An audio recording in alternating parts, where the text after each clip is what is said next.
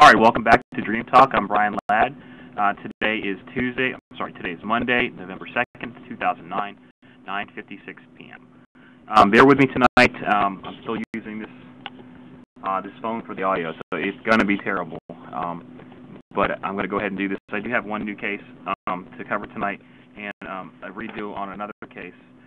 Um, with the second case, I do have a location. Uh, I do have that up. It's been up on the website. I do have a map, a sort of location, um, and I'll get to that in a second. Let's go ahead and do the uh, the update first.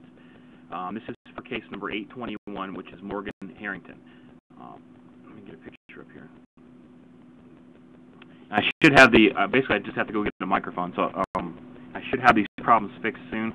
Again, I apologize about that.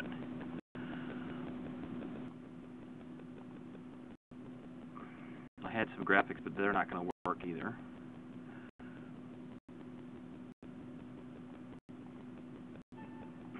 Okay, this is case number 821, Morgan Harrington. Um, she went missing about a week ago, I believe, from a Metallica concert.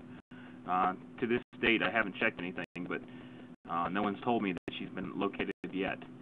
Uh, the website for her is www.findmorgan.com. The uh, the case was open on the, I believe that was the 20th. No, I'm sorry, the 29th. The 29th case was open on the 29th. Um, I did do a review last night. Um, again, that is posted.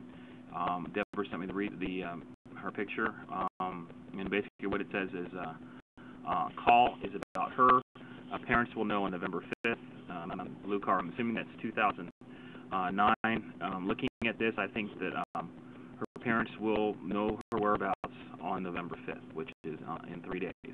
Uh, and again, looking at all this, I don't think that, uh, at least from the dreams, I don't think that she's uh, deceased. Um, and hopefully um, I'm right about that one. I do know that uh, in a lot of cases like this, it you know does end up unfortunate uh, with an unfortunate outcome. Um, that's what I have on this case. And again, if you want to if you want to go back and, and see the information we posted, uh, that's case number 821. If you go to briansdreams.com forward slash lost, I think it should be at the top of the screen. Uh, that case is listed uh, up there. The um, the next case we're going to do tonight is case number 822. Now this is the one I, I did last night. Um, get a picture here. And I want you guys see that microphone. Uh, this is case number 822. Um, this is for Masaraha Ross. Um, she's um, a missing uh, two and a half year old girl. Uh, the police say may be the police say may be in danger. Um, I do have a printout here that Deborah sent me. Um, uh, basically, it says uh, this is dated on October 28th of 2009 at 6:47 p.m. Uh, from Winter Haven. Uh, Winter Haven Police Department detectives are searching for a two and a half year old girl that they say may be in danger. The girl, Masaraha Ross, was last in the, last known to be in company of her mother, 29 year old uh, Ronkley uh, Holmes, who is also missing. The police department reported late, late Wednesday night or Wednesday afternoon. Um, Masaraha is black with black hair and black eyes, according to a missing persons flyer which was released by the police department. Uh, she stands 38 inches tall and weighs about 30 pounds. Um, Deborah usually reads this stuff, but basically, uh, if you have any information, um, uh, or if you've seen her, you know, if you have any information, um, please call um, the the local police department at six, or I'm sorry, eight six three two nine one five seven three three, or eight six three four one two uh, five nine seven three. Um, and you will be speaking with uh, Detective Sergeant Chris Ford. Okay, now that's done. the uh, let me go over the dream drawings that I have. I'm just got one computer. I'm just making sure everything I'm gonna do. Okay, I do have a picture up there. Okay, um, and these are the dream drawings from last night. The case was open today on the second dream drawings were done last night.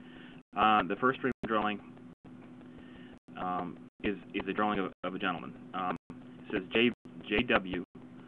Um, I think that's wrong translation. Hold on, I'm just gonna have to get my papers here because I got one thing wrong. Um, I'm just gonna go with it.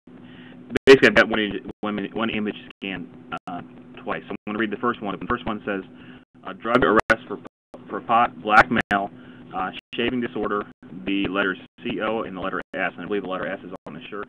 Um, I've got the gentleman drawn uh, uh, on the case file. Um, to me, the blackmail looks maybe 20, 22. Um, now it says shaving disorder. I, don't, I think I kind of know what that means. It's that if you're uh, uh, when you shave, a lot of times it, it, uh, your your skin gets uh, uh, not infected, but I don't know the word for it. Either, either way, it's, it's some type of disorder that some people have. Usually, the um, if you're black, sometimes you get that, uh, and that may be related to the case or not. Um, the next one says uh, Highway uh, 542 State, um, Elbert. It's E L B U R T, Water, Florida. Um, I did research that. I did find a location. We'll get to that in a second. The the next dream drawing says uh, Lester's brother knows about about night at party. Um, he said he would quote now fix her, and then it says all lies. Uh, the next dream drawing says uh, police are going to find the papers. Uh, marks are on the beer can, 1.7 miles, November 3rd, 7:15. That could be a time. I believe the police are going to find some information um, tomorrow at 7:15. 7:15, um, either PM or AM. I'm not sure. Uh, and there are some type of fingerprints or something on a beer can. As far as 1.7 miles, I'm not exactly sure. Um, I did do some research on this one, um, and I have a location. It is posted. Uh, there is a state highway 542, and there's a place called West Lake Elbert. I did say water. I did map that area out. It's not that large of an area. I'm not sure what's there or who's there or if anything's there. I don't know. Um, let me get my papers that I scanned in here. I had taken the first manual and I actually scanned it twice. Okay. Yeah, this one says, um, I hold it up. If you're looking on the case file, you'll see the, the images somebody scanned twice. Uh, I just, just didn't scan for some, some reason. Anyways, it says JW. He did not want to do it, um, but she kept talking about him. Um, and I'm not exactly sure if that means murder or not. Um, it's something I think something did happen uh, that, that's not good. Um, there was no symbols of death or none of this. The what I usually get as far as dreams go, um, as far as death in this case. But to me, it just doesn't doesn't look good, and I think that uh, she could definitely be in danger. Um, looking down through here, that's really all I have on this one. Hopefully, you can hear me okay. We'll get all this fixed. Deborah will be back. Um, uh, we'll do a show like normal. Um, and that's really all I have on this case uh, for tonight.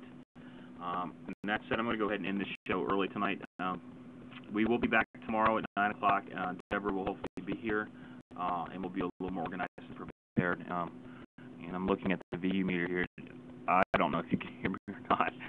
Um, but, but I hope you do. Anyways, the, the important stuff is out there. Um, and like, like always, if you go to the case file, this stuff is posted long before this show. I'm just going over the dreams.